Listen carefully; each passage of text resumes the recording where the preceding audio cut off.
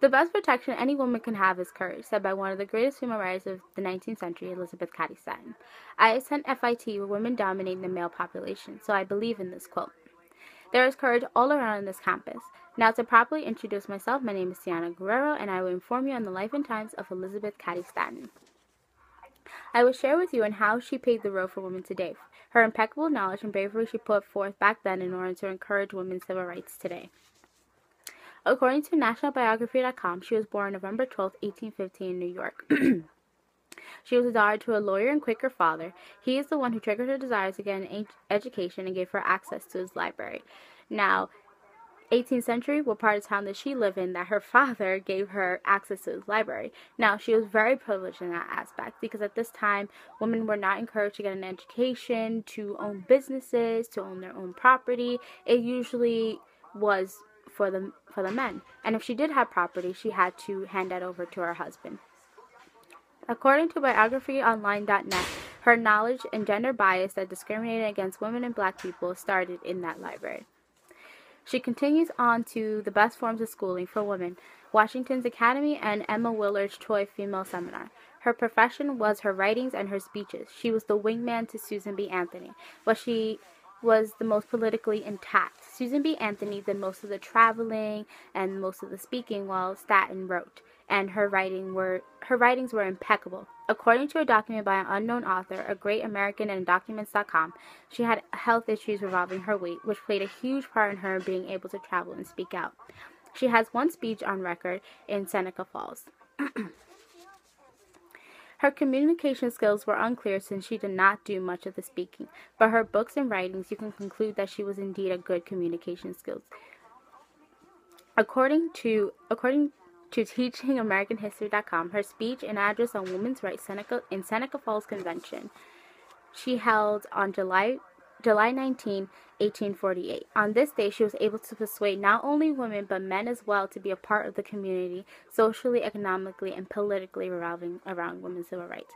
She didn't want the message to just be for females, she wanted to be for males as well. She wanted everyone to understand how significant it was for the country to include women in civil rights, especially for women to be involved politically. Now, in her speech, she used the methods ethos, logos, and pathos. Ethos convinces convinces you to use the author's credibility and audience. Logo is to convince the audience logically, and pathos to convince the audi- to persuade the audience using an emotional appeal. now, Elizabeth Cady Stanton said, I should exceedingly deficient to appear before you at this time, having never spoken in public, were I not have the nerve by a sense of rights and duty, did I not feel the time had fully come for the question of women's wrongs to be loud before the public?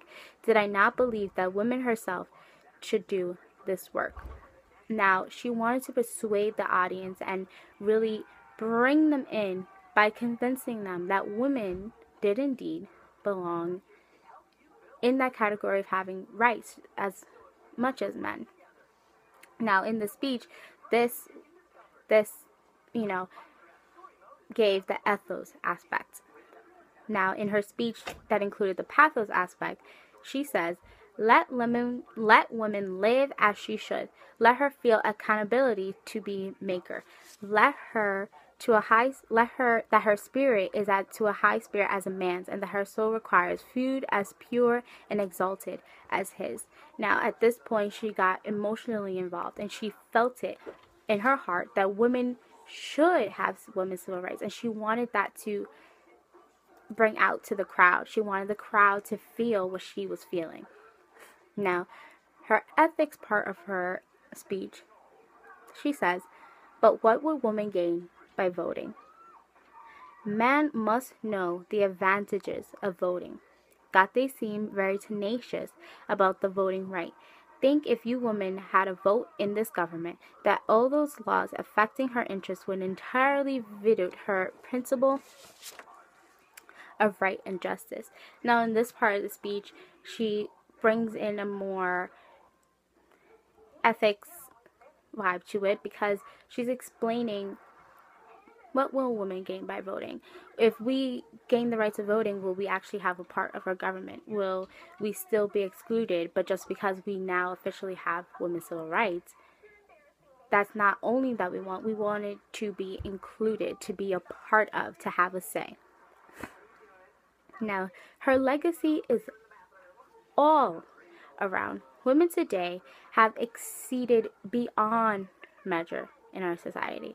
According to Sean Kirst in the New York Times titled Election Times Clutch in Caraga Edge, Seneca Falls, Cradle of Women's Rights. This is the place this is the place Elizabeth Elizabeth Cady Stanton stood to spoke stood stood and spoke and to women and men to come here for for a woman's president added stitches to her emotional stage statue. I voted.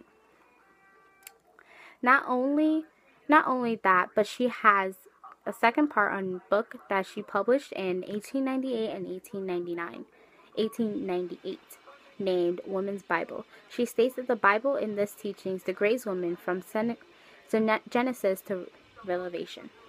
Now, her legacy is definitely all around because women today have so many rights and we are we own property, we own businesses, we are not just stay at home moms, we go to work, we go to school, and we do not we do not limit ourselves. If we want to be a stay at home mother, it is okay. If we want to own a business, it's okay. If we want to do both, it's okay. But at this time, it is our choice, it is not a man's choice.